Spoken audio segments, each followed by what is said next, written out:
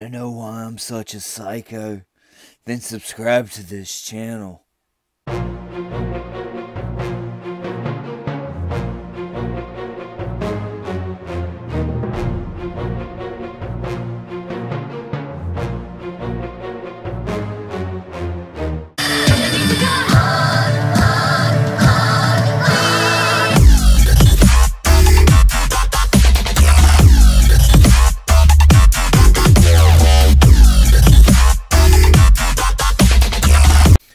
Welcome to my channel, this is Serge, bringing you another action figure collector's review on the Power Rangers Lightning Collections in Space Psycho Green Ranger.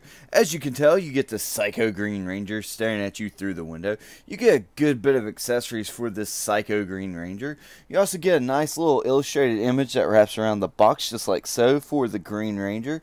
You also get the Power Rangers in Space logo up there at the top.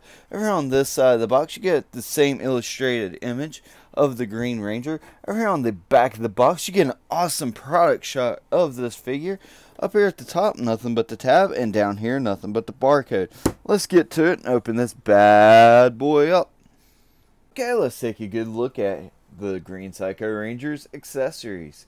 And first of all, we'll go ahead and take a look at these two gripping hands and they look very good for what they are. Now I do have a little bit black seeping through on this one, just a little bit. It missed the mark.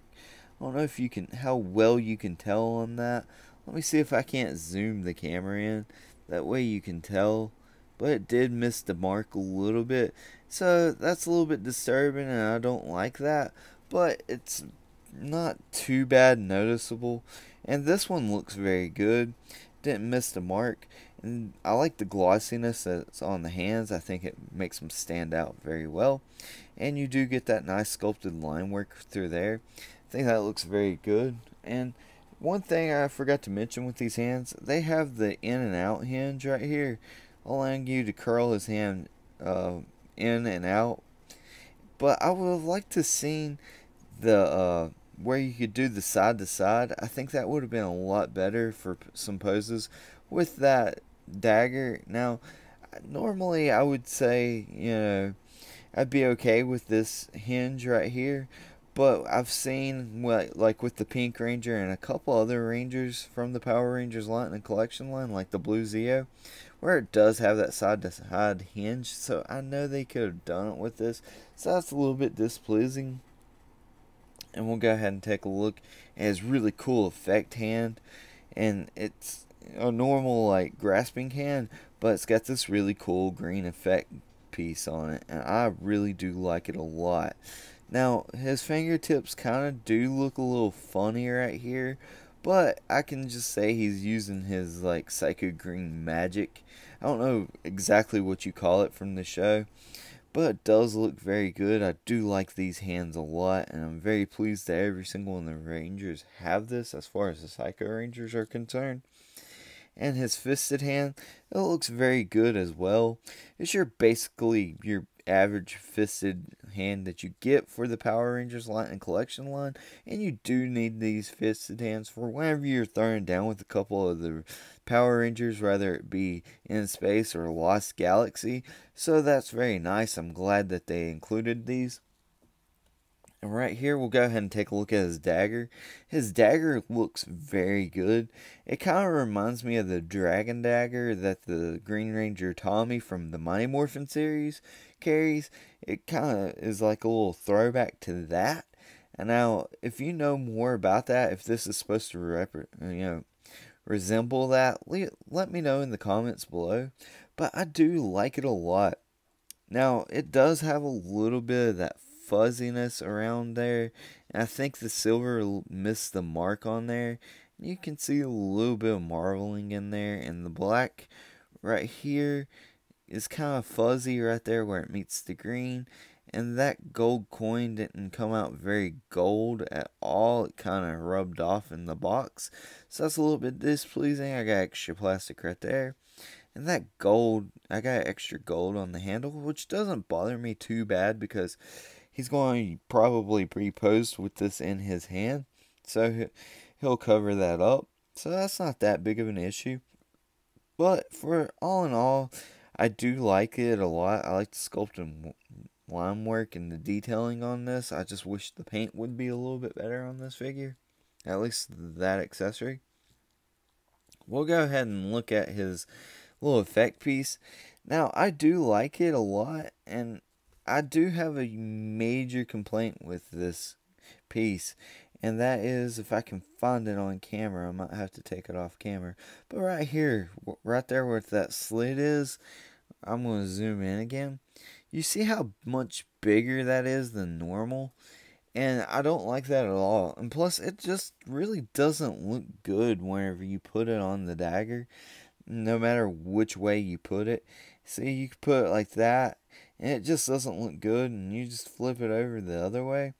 And I just don't like none of that on this dagger. I just think that looks a little bit weird and goofy. But, I mean, it's not coming off, but it feels very loose in there. Like, it wobbles, it wobbles around a lot. So, I mean, it's not coming off. But I figure, I feel like over time, it will fall off this dagger. But anyway, that was a good look at his accessories. Here he is, Psycho Green Ranger's out of the box and out of space and getting ready to drain some energy from a Power Ranger onto your screen.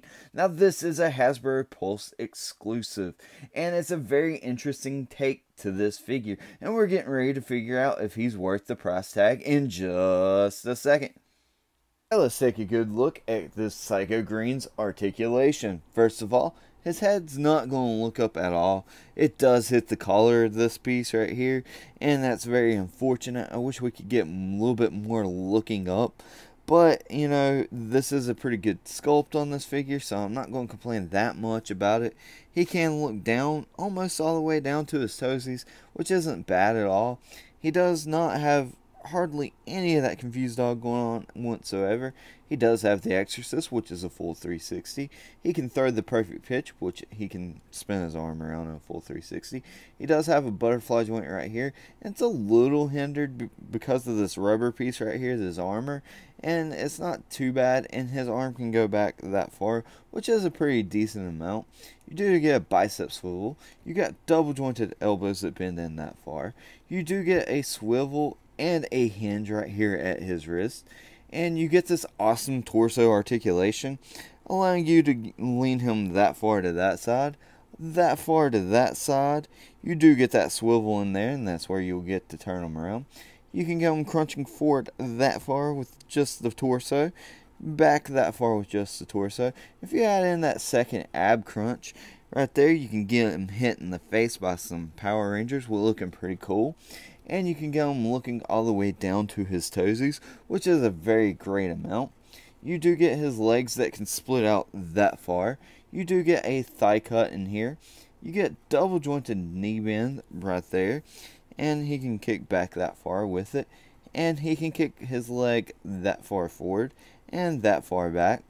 He does have a swivel right here at his thigh, or I'm sorry, at his shin and right here, he can do the perfect ballerina, allowing you to get all kinds of great range out of that. His foot can go that far forward, and he does have ankle rockers. And that was a good look at Psycho Green's articulation. Let's take a look at this Psycho sculpt and detailing. And first of all, his head sculpt looks very good, very accurate from what I can tell and I do like it a lot. I like the green. I think it pops very well. It flows the figure very well as well. And I think it just looks very good. I like that a lot. Um, I like the silver paint apps that came around the mouth, and I think that looks very good for the metallic they used. I really do like that a lot. And you get kind of like a, a seam going down, and I like that a lot. That lets you know where the center of the head is. The sculpt work looks good. You get a little, got a little bit extra black right there, but not nothing bad to complain about. Can use that as battle damage, even though I got out of the box like that. But I do like the glossiness on the helmet. I think that looks good. Looking at the back, doesn't look like there's any paint out of place other than that one spot right there. And right here, you do get a little bit of fuzziness right there as collar it's very unfortunate where the white and the black meet, But all in all, for the most part, it's not that bad. Just in that one spot, it kind of bothers me a little bit. But it does look very good. I do like it a lot at the back. And he does have the nice armor right back there. This is all a nice soft rubber. So it doesn't really bother articulation. But it kind of does with the shoulder and the head. But other than that, it does it does what it's supposed to do. It looks very good on the figure. And he does have a little bit of sculpted line work on there. Looks very good. I like all the silver suds that you see on the figure. I think that looks very good as well. And I like the wrinkling that you see on him. Like the white and the green came out very good there in his hands through here. And if you stretch the figure back, you do get to see this line continues. But on mine right there, it's got some chipping right there that came out of the factory that way. So um, that's a little bit, you know, bothers me a little bit. But all, all the figure does still look very good. Do like it a lot. And there's this N on his belt. Now, what does that N stand for? If you know what that N stands for, let me know in the comments. It's probably something from the Super Sentai, but I'm not 100% sure. But I do like these studs down there at this crotch where his chastity belt would be. But anyway, right here you got some wrinkling more sculpted line work, and down here is armor.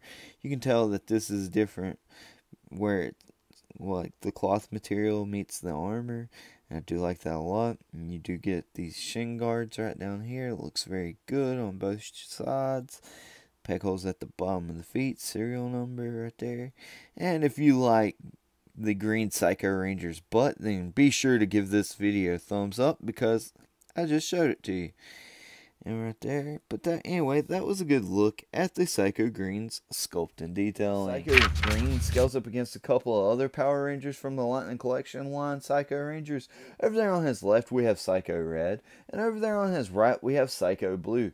And the team is coming along very slowly. But we also have the Amazon exclusive pack with all the Psycho Rangers in it, and I'm kind of excited for it in a way, but in a way I'm kind of not because we're going to get doubled up on the red and blue. So maybe for the other people that didn't want to shell out a hundred dollars just to have the Psycho Rangers all at one get go, maybe they'll do like a re-release like they did with the green and blue ones and release the other Rangers. Hopefully that's what I'm think that's what I'm hoping for.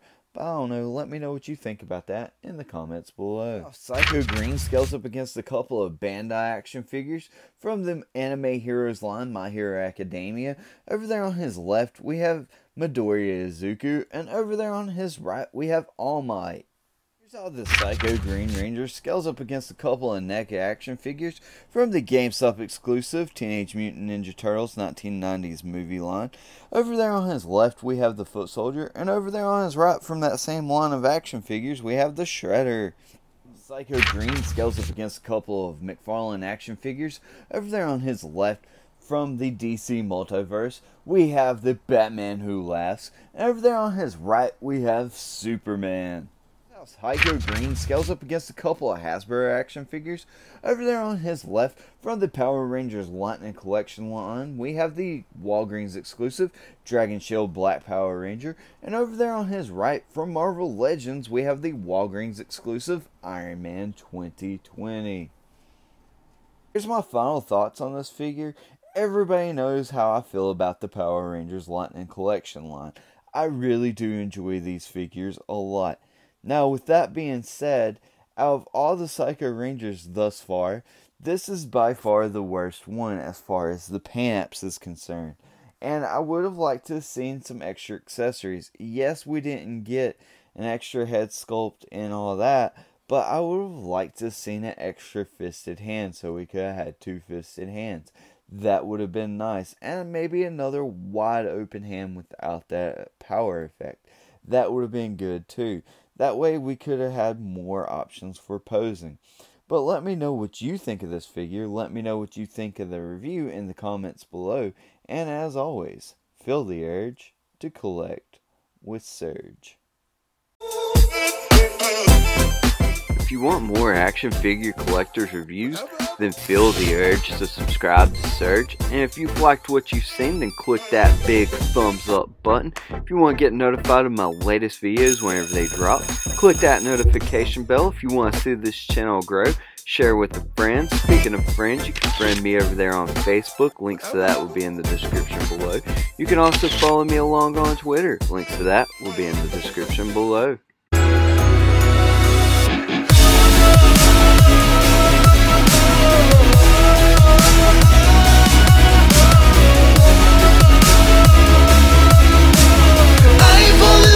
done, you would have to burn me down.